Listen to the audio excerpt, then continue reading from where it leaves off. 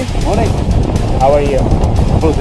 Ready to go. Yeah, you ready to jump the plane? You Immediately jump out of the working aircraft. Let's see how you like Aruba from 10,000 feet.